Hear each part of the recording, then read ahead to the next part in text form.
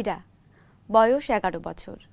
ক্লাসের মাঝখানেই ভীষণ অস্বস্তি নিয়ে বেঞ্চ থেকে উঠে দাঁড়ায় সে। দু হাতে জামাটা টেনে বেরিয়ে যায়। সামিরা জানালার ধারে বসে আছে। বিকেলবেলা খেলার মাঠে তার অন্য বান্ধবীরা ব্যাডমিন্টন দড়িলাভ খেলছে। চুপ করে দেখছে সে। এখন তার বাইরে যাওয়া নিষেধ। তনু, শরীর বেশ দুর্বল লাগছে। ইচ্ছে হচ্ছে পাট শাক ভাজা দিয়ে মাছ খেতে ডিম খেতে। কিন্তু সেসব নাকি খাওয়া বারণ। সামিরা, স্কুলের ব্যাগ গোছাচ্ছে সকালে প্রিয় শিক্ষকের ক্লাস। তবে সম্ভবত তার স্কুলে যাওয়া হবে না।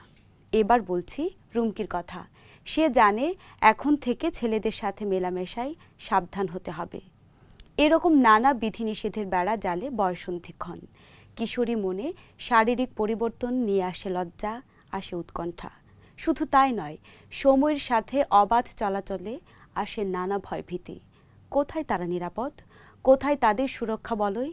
এমনকি কিশোর যারা, তারাও নিরাপদ নয়। কোনটি তবে আমাদের কিশোর কিশোরীদের জন্য নিরাপদ স্থান? আজকের আমার ঘরে আমার স্কুলের জীবন দক্ষতা অধিবেশনে এসব প্রশ্নের উত্তর খোঁজার চেষ্টা করব। আমন্ত্রণ তোমাদের আজকের বিষয় মাসিক ব্যবস্থাপনা ও কিশোর কিশোরীদের জন্য নিরাপদ স্থান। আজ আমরা যা যা শিখতে পারব। মাসিক সম্পর্কে জানতে পারব, মাসিক চলাকালে কীভাবে নিজের যত্ন নিতে হবে সে সম্পর্কে জানতে পারব, কিশোর কিশোরীদের জন্য নিরাপদ স্থানে থাকার গুরুত্ব বুঝতে পারব, কমিউনিটিতে কিশোরীদের জন্য নিরাপদ স্থান কোনগুলো সে সম্পর্কে জানব। শিক্ষার্থীরা, বয়সন্ধিকালে কিশোরীদের মাসিক হওয়া একটি প্রাকৃতিক পরিবর্তন। এটি কোনো লজ্জার বিষয় নয়। শরীরবৃত্তীয় সম্পর্কে ছেলে মেয়েদের সকলের জ্ঞান থাকা জরুরি। যৌন ও প্রজনন স্বাস্থ্য সুরক্ষা বিষয়ে সঠিক তথ্য না জানলে জীবনের নানা রকম ঝুঁকি তৈরি হতে পারে। আমরা যত বড় হই, আমাদের শারীরিক ও মানসিক পরিবর্তন ঘটতে থাকে। এসব বিষয়ে সচেতন থাকা প্রত্যেকেরই দায়িত্ব। সময়ের সাথে আমাদের চলাফেরার পরিধিও বাড়ে। তাই নিজের জন্য কোনটা নিরাপদ, সে বিষয়গুলোতে আমাদের দৃষ্টি দিতে হয়। তাই এইসব বিষয়ে নিজেকে সঠিকভাবে পরিচালিত করার জন্য জীবন দক্ষতা শিক্ষার উপাদান, আত্মবিশ্বাস, আবেগ প্রকাশ ও নিয়ন্ত্রণ, সমানুভূতি, আত্মনিয়ন্ত্রণ, বিশ্লেষণী চিন্তা, সিদ্ধান্ত গ্রহণ, যোগাযোগ, সৃজনশীল সমস্যা সমাধান, সম্পর্ক তৈরি দক্ষতা অর্জন করতে হবে। বন্ধুরা, মাসিকের সময় অনেককেই বলতে শোনা যায়, শরীর খারাপ বা অসুখ করেছে, যা একেবারেই ভুল ধারণা। নয় থেকে বারো বছর বয়সে সাধারণত মেয়েদের মাসিক শুরু হয়। মাসিক নিয়ে বেশিরভাগ কিশোরীরাই লজ্জায় পড়ে যায়। কিন্তু এটি একটি স্বাভাবিক শারীরিক পরিবর্তন। মাসিক না হলে কোনো নারী সন্তান জন্মদান করতে পারবে না। আমাদের সমাজ মনে করে, মাসিক হলেই মেয়েরা বিয়ের জন্য উপযুক্ত হয়। কিন্তু বিষয়টি একদম ভুল। একটি মেয়ের বিয়ের জন্য শারীরিক এবং মানসিকভাবে প্রস্তুত হতে হয়। আঠারো বছরের আগে বিয়ে হলে কিশোরী অন্তঃসত্ত্বা হয়ে নানা রকম ঝুঁকিতে পড়তে পারে। অল্প বয়সে বিয়ে ও সন্তান ধারণ কারও কারও ক্ষেত্রে মৃত্যু ঝুঁকিও বৃদ্ধি করে। আমরা জানি, আঠারো বছরের আগে বাল্য বিয়ে আইনত দণ্ডনীয় অপরাধ। বন্ধুরা, বয়সন্ধিকাল হল যখন ছেলে ও মেয়েরা যৌন পরিপক্কতা লাভ করে এবং পুনরুৎপাদনক্ষম হয়। কিশোরীদের বয়সন্ধিকালের শারীরিক পরিবর্তনের একটি হলো মাসিক। মেয়েদের মাসিক ভিন্ন ভিন্ন বয়সে শুরু হতে পারে। এটা খুবই স্বাভাবিক যে মেয়েদের মাসিক তার বোন বা বন্ধুর সঙ্গে একই সময় শুরু হতে নাও পারে। বয়সন্ধিকাল যেমন আগে বা পরে শুরু হয়, তেমনি কিছু মেয়ের বেলায় এটি অন্যদের তুলনায় তাড়াতাড়ি শুরু হয়। অনেক মেয়ের ক্ষেত্রে নয় থেকে দশ বছরেই এটা শুরু হয়, আবার অনেকের শুরু হয় আরও পরে। সাধারণত মাসিক মাসে একবারই হয়। তবে কম বেশি হওয়াও অস্বাভাবিক নয়, বিশেষ করে যাদের কেবল শুরু হয়েছে। প্রায় সব নারীর ক্ষেত্রেই মাসিক মাসে একবার হয়। সেজন্যই একে সাধারণভাবে মাসিক বলে। এটাও স্বাভাবিক যে শুরুর দিকে কোনো কোনো মেয়ের ক্ষেত্রে এটি প্রতি মাসের পরিবর্তে এক দুই মাস অন্তর হয়ে থাকে। তবে কিছু মেয়ের বেলায় এটা অন্যদের তুলনায় তাড়াতাড়ি শুরু হয়। প্রতিটি মেয়ের দুটি ডিম্বাশয় থাকে।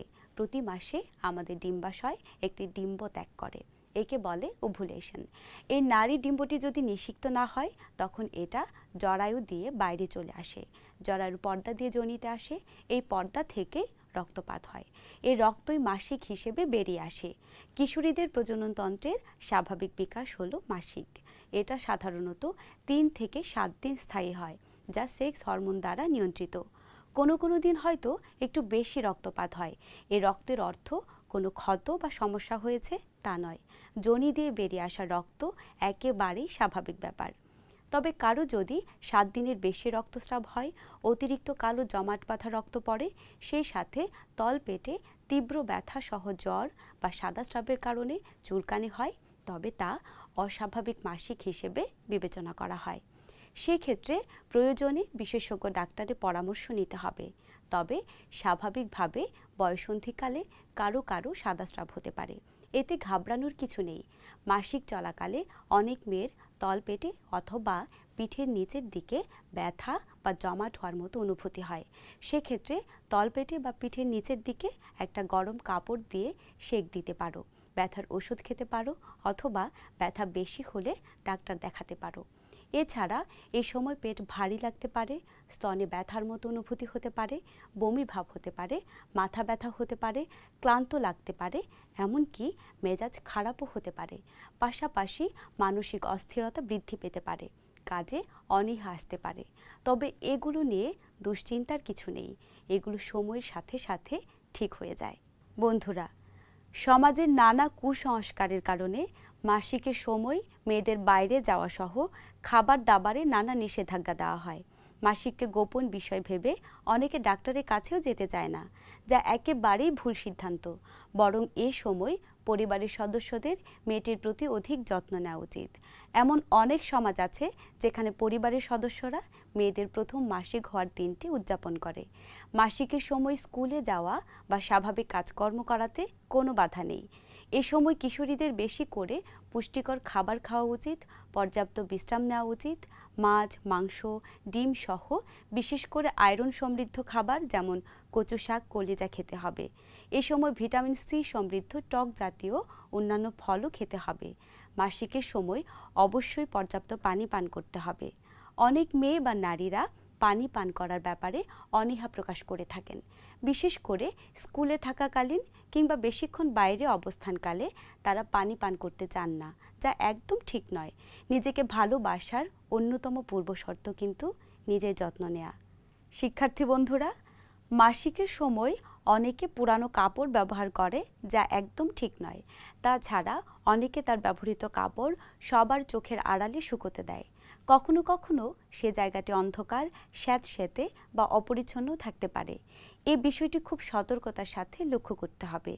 কারণ লোকলজ্জার ভয়ে অপরিচ্ছন্ন পরিবেশে মাসিকের কাপড় সংরক্ষণ হতে পারে, যৌন ও প্রজননতন্ত্রের জটিল রোগের কারণ, এমনকি কখনো বা মৃত্যুরও কারণ। চলো জেনে নিই মাসিক ব্যবস্থাপনার জন্য কি করতে হবে। মাসিকের সময় পরিষ্কার ও শুকনো কাপড় ব্যবহার করতে হবে। মাসিকের সময় ব্যবহৃত কাপড় পরিষ্কার পানি দিয়ে ধুতে হবে এবং কড়া রোদে শুকাতে দিতে হবে এবং পরবর্তী ব্যবহারের জন্য কাপড় ভাঁজ করে পরিষ্কার স্থানে সংরক্ষণ করতে হবে। তবে একই কাপড় বেশি দিন ব্যবহার করা যাবে না। সবচেয়ে নিরাপদ স্যানিটারি ন্যাপকিন ব্যবহার করা। তবে স্যানিটারি ন্যাপকিনের পরিবর্তে টিস্যু ব্যবহার করা যাবে না বা প্যাডের ওপর টিস্যুর বাড়তি স্তর দেওয়া ঠিক নয়। বন্ধুরা আমাদের মনে রাখতে হবে পুরনো কাপড় বারবার ব্যবহার করলে তা মূত্রনালী এবং জরায়ুতে সংক্রমণ ঘটাতে পারে। ব্যবহৃত কাপড় তিন থেকে চার ঘণ্টা পরপর বদলাতে হবে। পরিষ্কার অন্তর্বাস ব্যবহার করতে হবে। যদি ইউনিফর্ম বা পাজামায় দাগ লেগে যায়, তাহলে সেদিনই সাবান দিয়ে ধুয়ে ফেলতে হবে। তা না হলে দাগ উঠবে না। যদি কেউ স্যানিটারি ন্যাপকিন ব্যবহার করে থাকে, তবে তা ব্যবহারের পর নির্দিষ্ট স্থানে কাগজে মুড়ে ফেলতে হবে। যত্রতত্র ফেলা যাবে না, অথবা মাটির নিচে বা আগুনে পুড়িয়ে ফেলতে হবে। স্যানিটারি ন্যাপকিন টয়লেটে ফ্লাশ করা ঠিক নয়। স্যানিটারি ন্যাপকিন প্রয়োজন অনুযায়ী অন্তত পাঁচ থেকে ছয় ঘণ্টা পর পর পরিবর্তন করতে হবে। মাসিক চলাকালে স্বাস্থ্য সতর্কতা ও পরিচ্ছন্নতা বজায় রাখা খুবই জরুরি। পরিষ্কার পরিচ্ছন্ন না থাকলে ব্যাকটেরিয়াল ইনফেকশন হতে পারে। পরিষ্কার জামা পরিধান করতে হবে, অনেক পানি পান করতে হবে এবং রাতে ভালো করে ঘুমাতে হবে। শরীরে সাবান ব্যবহারের ক্ষেত্রে লক্ষ্য রাখতে হবে, সাবান যেন জনের ভিতর না যায়। জননাঙ্গে ডিউডেরান্ট বা সুগন্ধি ব্যবহার করা যাবে না, হালকা ব্যায়াম করা যেতে পারে। বন্ধুরা, যৌন ও প্রজনন স্বাস্থ্যের যত্ন নেওয়া খুব জরুরি। এ বিষয়ে আমাদের সঠিক তথ্য জানতে হবে। নারীর প্রজননতন্ত্র পরবর্তী প্রজন্মকে ধারণ করে। তাই প্রজননতন্ত্রের কোনো সংক্রমণ বুঝলে অবশ্যই লজ্জা না পেয়ে ডাক্তারের পরামর্শ নিতে হবে। চলো মাসিক ব্যবস্থাপনা নিয়ে এবার কিছু ধারণা যাচাই করে নেই। আমি কিছু বিবৃতি পড়ছি। মিলে দেখো তো, কোন ধারণাগুলো সঠিক আর কোনগুলো ভুল হলো? দিনে একবার সাবান পানি দিয়ে গোসল করা উচিত। মাসিক চলাকালে খেলাধুলা করা অনুচিত। মাসিক চলাকালে নদী বা পুকুরে সাঁতার কাটা অনুচিত। দাগ এড়ানোর জন্য সাবান পানি দিয়ে তোমার অন্তর্বাস পরিষ্কার করা উচিত। কাপড় নষ্ট হওয়া বা দুর্গন্ধ এড়ানোর জন্য প্যাড বা কাপড় নিয়মিত বদলানো উচিত। বয়সন্ধিকালে ছেলেদেরও মাসিক হতে পারে। স্যানিটারি ন্যাপকিন বা কাপড় বদলানোর পর সাবান দিয়ে হাত ধোয়া উচিত। নিশ্চয়ই তোমরা সঠিক তথ্যগুলো যাচাই করতে পেরেছ? শিক্ষার্থীরা কারও কারও ক্ষেত্রে মাসিক অনিয়মিত হতে পারে। যেমন, সাবালিকা হওয়ার প্রথম এক থেকে দুই বছর ডিম্বাশয় অপরিপক্ক থাকতে পারে। থাইরয়েড বা হরমোনজনিত কোনো সমস্যা থাকলে মাসিক অনিয়মিত হয়। আচ্ছা আমরা কি জানি ঋতুবন্ধ কি? ঋতুবন্ধ হলো যখন একজন নারীর মাসিক বন্ধ হয়ে যায়। যখন এটা হয়, তখন নারীরা আর গর্ভবতী হতে পারে না। সাধারণত ৪৫ বছরের পর ঋতুবন্ধ হয়, তবে কারও কারও আবার পঞ্চাশের পরেও হতে পারে। বন্ধুরা, মাসিক নিয়ে সামাজিক যেসব কুসংস্কার আছে, তা দূর করতে হবে। মাসিক হলে কোনো মেয়ে বা নারীকে অপবিত্র ভাবা যাবে না। মাসিকের সময় বাইরে যাওয়া, খেলাধুলা করা, খাবার খাওয়া নিয়ে কোনো নিষেধাজ্ঞা নেই। এগুলো সবই ট্যাবু। মাসিক কোনো লজ্জার অসুখ নয়। পরিবার, শিক্ষা প্রতিষ্ঠান, সমাজের অংশীজন সকলকে সচেতন ও সংবেদনশীল ভূমিকা পালন করতে হবে।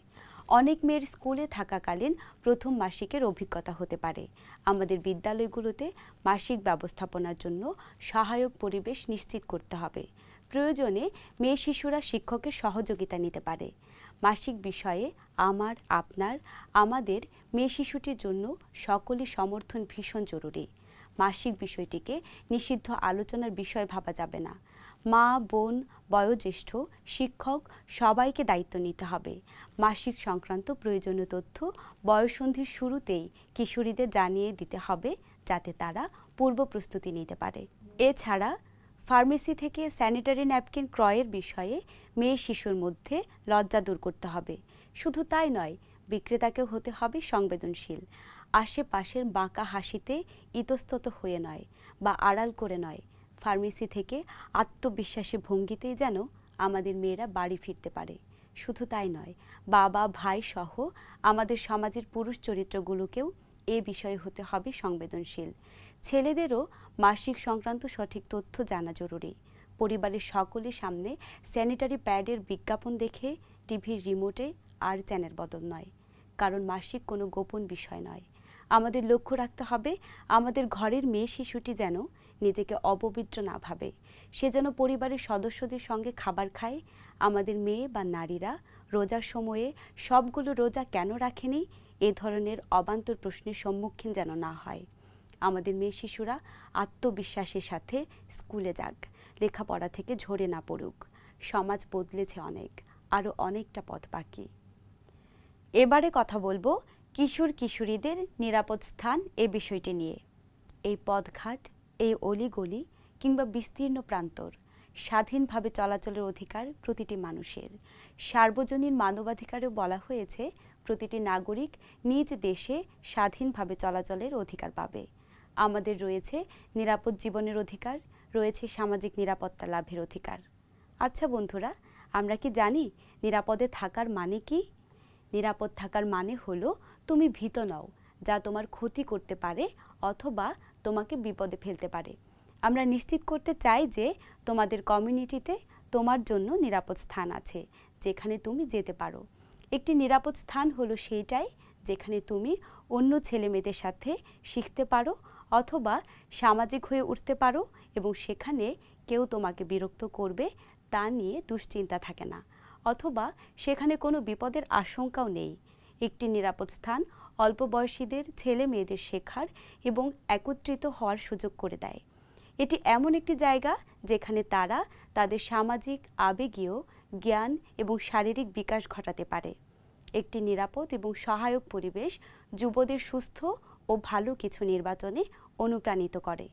নিরাপদ বলতে বোঝায় মানসিক আঘাত, অতিরিক্ত মানসিক চাপ, সহিংসতা বা সহিংসতার ভীতি অথবা নির্যাতনের অনুপস্থিতি। সহায়ক পরিবেশ বলতে বোঝায় এমন একটি পরিবেশ যা ইতিবাচক, পরিবার, অন্যান্য বয়োজ্যেষ্ঠ, শিক্ষক, স্থানীয় ব্যক্তিত্ব এবং সমবয়সীদের সাথে সুসম্পর্ক। একটি নিরাপদ স্থান মিলনস্থল হিসেবে কাজ করে থাকে, যেখানে ছেলে মেয়েরা তাদের অন্যান্য সমবয়সীদের এবং একজন বিশ্বস্ত বয়োজ্যেষ্ঠের সাথে বিশ্বস্ত বন্ধুত্ব তৈরি করতে পারে। একটি নিরাপদ স্থান কিশোর কিশোরীদের, বিশেষ করে কিশোরীদের যৌন, শারীরিক এবং আবেগীয় হয়রানি, নির্যাতন এবং সহিংসতার অসহায়ত্ব দূর করতে পারে। নিরাপদ এবং সহায়ক শিক্ষার স্থান কিশোর কিশোরীদের আত্মবিশ্বাস, সামাজিক যোগাযোগ, জ্ঞান এবং দক্ষতা তৈরির সুযোগ করে দেয়। যেখানে প্রত্যেক কিশোর কিশোরীদের তার সমবয়সীদের সম্মানের সাথে আচরণ করতে পারে এবং তারা মুক্তভাবে কথা বলতে পারে। মেয়েদের ক্ষেত্রে সাধারণত নিরাপদ স্থান হলো মেয়ে কেন্দ্রিক মিলনস্থল। চলো একটি ছবি দেখি। এই চরিত্রটি ধরে নাও তোমার বয়সে একটি মেয়ের ছবি। এখন আমরা দেখব তোমাদের কমিউনিটির মেয়েরা সাধারণত কোন স্থানে সপ্তাহ শেষে সময় কাটাতে যায়। যেমন ফলের দোকান, বাজার, মার্কেট, পার্ক, সিনেমা হল, দর্শনীয় স্থান, আত্মীয়র বাড়ি, সাংস্কৃতিক ক্লাব, বন্ধুর বাড়ি, রেস্টুরেন্ট। চলো তো দেখে নেই, কোন কোন স্থানে তারা যেতে ভালোবাসে? এখানে আমরা তারা চিহ্ন বসাতে পারি। যে স্থানে যেতে ভালো লাগে না, সেখানে লাল রঙের একটি তারা।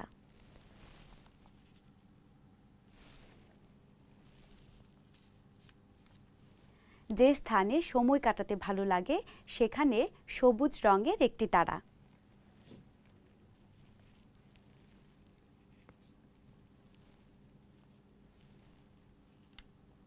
আর যে স্থানে সময় কাটাতে খুব ভালো লাগে, সেখানে সবুজ রঙের দুটি তারা লাগাবো।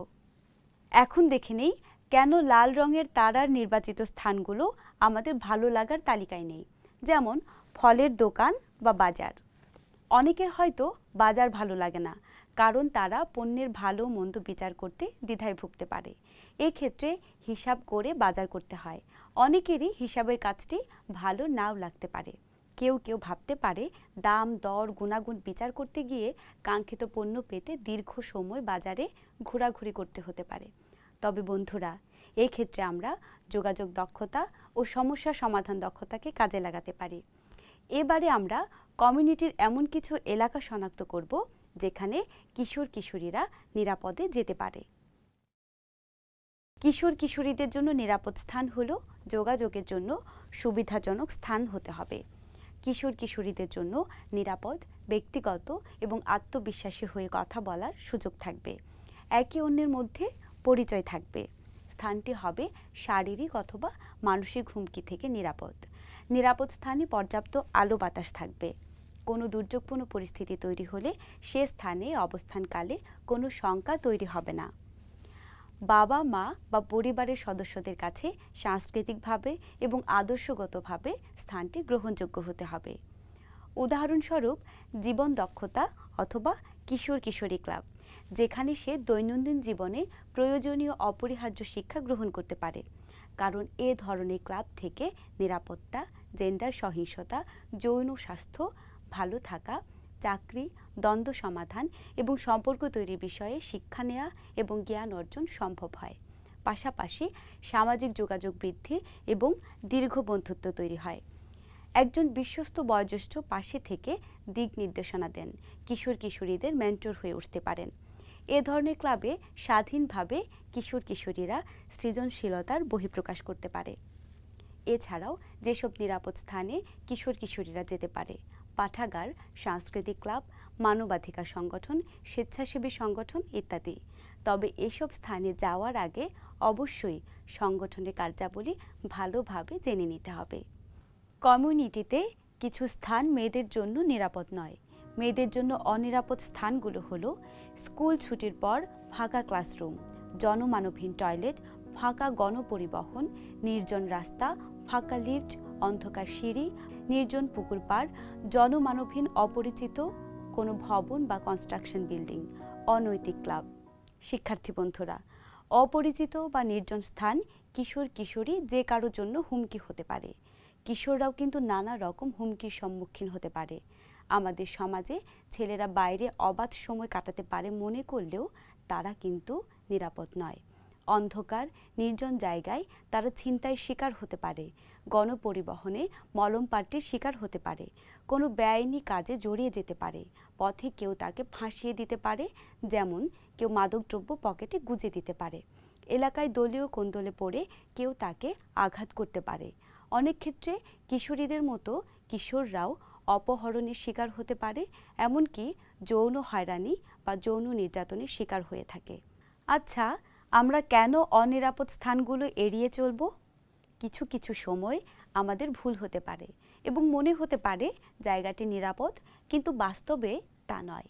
আমরা যে কোনো বয়োজ্যেষ্ঠ ব্যক্তির সাথে কথা বলে এবং আগে থেকে জায়গাটি সম্পর্কে তথ্য জেনে নেব যে জায়গাটি সময় কাটানোর জন্য নিরাপদ কিনা। নিরাপদ স্থানে থাকা তোমাদের জন্য অত্যন্ত জরুরি, কারণ আমরা চাই তোমরা সব সময় অনুভব করো, তোমরা সামাজিক এবং স্বাধীনভাবে শিখতে পারছ এবং সেখানে ভয় পাওয়ার কিছু নেই। এটি খুবই গুরুত্বপূর্ণ, যখন তুমি কমিউনিটিতে চলাফেরা করবে, তুমি তোমার নিরাপত্তার কথা চিন্তা করবে। চলো দেখিনি কিছু পরামর্শ যা তোমাকে নিরাপদ স্থান চিহ্নিত করতে এবং চলাচলে সহযোগিতা করবে। সামাজিক নেটওয়ার্ক গড়ে তোলা, সহপাঠী বা বন্ধু সমর্থন তৈরি, কোনো নতুন স্থানে যাওয়ার বিষয়ে মেন্টরের সঙ্গে আলোচনা করে নেওয়া স্কুলে যাতায়াতের জন্য দলীয়ভাবে চলাফেরা করা। কোনো জায়গা অনিরাপদ মনে হলে পরিবারের কোনো বয়োজ্যেষ্ঠ সদস্যকে সঙ্গে রাখা। তুমি যে স্থানে যাচ্ছ, পূর্ব থেকেই তার ঠিকানা ও ফোন নম্বর বাড়ির সদস্যদের কাছে দিয়ে রাখা। তুমি যদি কোনো যানবাহনে উঠে অনিরাপদ বোধ করো, তবে বাহনের নম্বর পরিবারকে ফোন করে কৌশলে জানিয়ে দেয়া। ফাঁকা গণপরিবহনে কোনোভাবেই একা যাতায়াত না করা, বিশেষ করে মেয়েদের ক্ষেত্রে। যে ঠিকানায় যাচ্ছ, তার আশেপাশের বিশেষ জনবহুল কোনো ভবন, ধর্মীয় স্থান, হাসপাতাল, থানা, খাবারের দোকান বা জরুরি সেবা প্রাপ্তির স্থান দেখলে তা নোট করে রাখা এবং পরিবারের কাউকে অবহিত করা। অপরিচিত কারোর সঙ্গে দেখা করতে না যাওয়া, ফোন নাম্বার না দেওয়া, ছবি না তোলা ও না খাওয়া। বন্ধুরা, মানুষের হাসি, স্নেহ, সৌজন্যতাবোধ, মানবিকতাবোধ, অন্য মানুষের মনে প্রাণের সঞ্চার করে। তাই আমাদের মনে চলাচলের যে ভীতি তৈরি হয়, তার থেকে মুক্তি পাওয়ার অধিকার আমাদের সকলের। একটু নিরাপদ স্থান, নিরাপত্তার জন্য আমাদের চারপাশের মানুষগুলোকে দায়িত্ব নিতে হবে। দায়িত্ব নিতে হবে রাষ্ট্রকেও। মানুষের সংস্পর্শ কখনো কখনো যেমন ভীষণ আনন্দের, ঠিক তেমনি হতে পারে নির্যাতনের। এই চিত্রটা বদল হওয়া জরুরি। কিশোর, কিশোরী, নারী বা পুরুষ, প্রতিটি মানুষের জন্য নিরাপত্তা নিরাপদ পরিবেশ ও মানবিক সমাজ গঠন জরুরি। আমাদের ভাঙতে হবে রাতের আধার নয়, মনের আধার। আজকে আমরা যা যা শিখতে পারলাম। মাসিক কোনো গোপন অসুখ নয়, এটি বয়সন্ধিকালে কিশোরীদের স্বাভাবিক শারীরিক পরিবর্তন। মাসিক সংক্রান্ত কুসংস্কার দূর করে কিশোরীদের সমর্থন দিতে হবে এবং তাদের সঠিক তথ্য প্রদান করতে হবে। মাসিক হলেও কিশোরীরা বাইরে যেতে পারবে। খেলাধুলা করতে পারবে এবং এ সময় তাকে সব ধরনের পুষ্টিকর খাবার দিতে হবে। মাসিক ব্যবস্থাপনা নিয়ে প্রত্যেক কিশোরীকে পরিষ্কার পরিচ্ছন্নতা নিয়মাবলী অনুসরণ করতে হবে। মাসিক সংক্রান্ত কোনো জটিলতা দেখা দিলে অবশ্যই ডাক্তারের শরণাপন্ন হতে হবে। মাসিক বিষয়ে ছেলে বা পুরুষদের সংবেদনশীল ভূমিকা পালন করতে হবে। পাশাপাশি আমরা কিশোর কিশোরীদের জন্য নিরাপদ স্থান থাকার গুরুত্ব সম্পর্কে জেনেছি। জেনেছি কমিউনিটিতে কিশোর কিশোরীদের জন্য নিরাপদ স্থান হলো সেখানে শারীরিক বা মানসিক হুমকি বা বিপদের আশঙ্কা নেই। একটি নিরাপদ স্থানে প্রত্যেকের মধ্যে সম্মানজনক এবং সৌহার্দ্যমূলক যোগাযোগ বজায় থাকে। আরও জেনেছি, নিজ দেশে প্রত্যেকের স্বাধীনভাবে চলাচলের অধিকার রয়েছে। বন্ধুরা, সূর্যের আলো নিভে গেলে, পথগুলোতে আধার নেমে এলে আলো জেলে দিক মানুষ। মনের আলো, দৃষ্টিভঙ্গির আলো নিজের ইতিবাচক মানসিকতার আলো। আমরা সেই আলোতে স্বাধীনভাবে পথ চলব। নিরাপদ হয়ে উঠুক প্রতিটি সড়ক, প্রতিটি চার দেয়াল, প্রতিটি নির্জন স্থান। আর কোনো ক্ষত গল্প তৈরি না হোক। মানুষ এগিয়ে দিক মানুষকে। চেনা, অচেনা, প্রতিটি চোখ হোক নির্ভরতার, নিরাপদ আশ্রয়ের। জীবন দক্ষতার শিক্ষা আমাদের করুক আলোকিত। সকলে সানন্দে বলব, কোথাও আমার হারিয়ে যাওয়ার নেই মানা। হোক তা মনে মনে, এমনকি বাস্তবেও, কিংবা যে স্থানই যায় না কেন, মুক্ত চিত্তে গেয়ে উঠব, আহা কি আনন্দ, আকাশে বাতাসে, শাখে শাখে, পাখি ডাকে, কত শোভা চারিপাশে। আজকের অধিবেশন এ পর্যন্তই। স্বাস্থ্যবিধি মেনে চলো, নিজের খেয়াল রেখো, ধন্যবাদ। প্রিয় শিক্ষার্থী বন্ধুরা, আজকের অধিবেশনটি তোমরা আবার দেখতে চাইলে ভিজিট করো আমার ঘরে, আমার স্কুল ফেসবুক পেজে কিংবা ইউটিউব চ্যানেলে। তোমাদের কোনো প্রশ্ন থাকলে আমার ঘরে, আমার স্কুল ফেসবুক পেজে কমেন্ট করে জানাও অথবা তোমাদের সুচিন্তিত মতামত থাকলে মেল করতে পারো A G A S at the rate of DSH dot GOV dot BD এই ঠিকানায়।